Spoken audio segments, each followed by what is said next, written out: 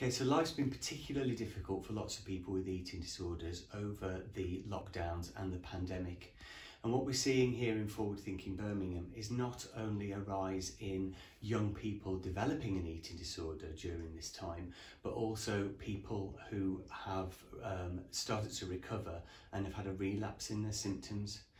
Um, I guess the average age of somebody developing an eating disorder is in their mid-teens, so it's not really um, that uh, surprising that during all of the uncertainty and the things that are going on around school at the moment that we're seeing a much higher incidence when young people are under uh, you know much more stress and much more uncertainty than they're used to.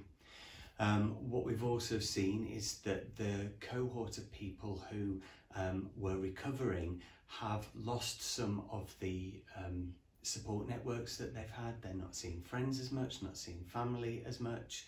We've had university students coming back to halls of residences that are empty. There's no people around, no support. So it's very difficult to just kind of get in that zone and, um, and the illness can very easily take over. Um, I guess what advice we would have for parents, carers, friends, professionals, other family members is that it's always difficult to have a conversation about some you know about an eating disorder with someone and especially so at the moment.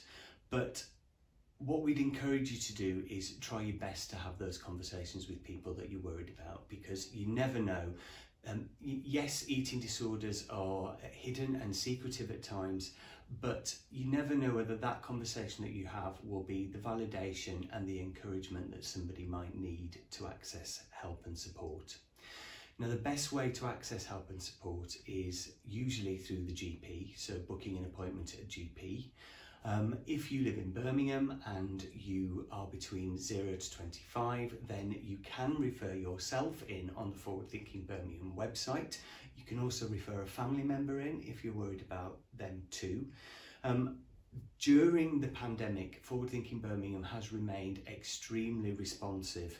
The eating disorder team is continuing to see high numbers of cases, new referrals and existing um, patients.